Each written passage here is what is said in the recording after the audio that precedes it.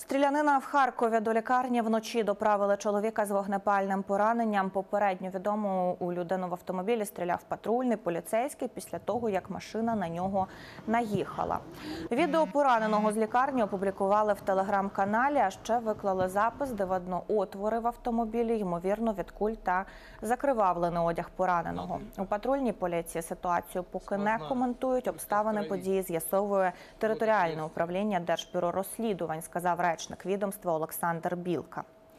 До лікарні чоловіка доправили його товариші. Пацієнта прооперували. Він у тяжкому стані. Про це Суспільному розповів В'ячеслав Вакуленко, головний лікар міської лікарні номер 25.